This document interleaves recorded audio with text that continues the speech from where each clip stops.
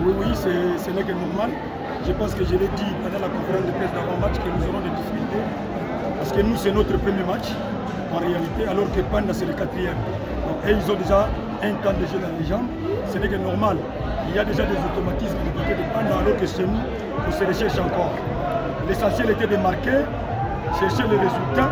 La manière va venir avec les temps.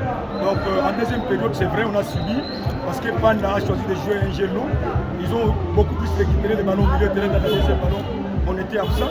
On a fait des changements. Cody qui est rentré, il a eu des difficultés pour la récupération. Ça nous a posé énormément de problèmes. Mais après, bon, c'est ça aussi le football. Hein. On ne gagne pas facilement. L'essentiel est qu'on a trois points et on va essayer de rentrer au labo, travailler, voir comment est-ce que nous allons jouer contre l'équipe pour le 25. Coach, 70 bonnes minutes de l'équipe où on a vu physiquement les joueurs étaient au point, mais juste après, il y a eu un peu euh, ce baisse de régime. Qu'est-ce qui a justifié cela? Est-ce parce que les joueurs n'ont pas encore joué euh, des matchs ou...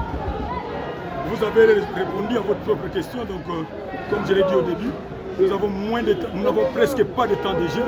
Les derniers matchs, on a joué contre Kassombo, bon, un match en amical, donc comprenez que les automatismes vont venir petit à petit. Ce n'était pas un problème physique, c'était un problème plutôt tactique.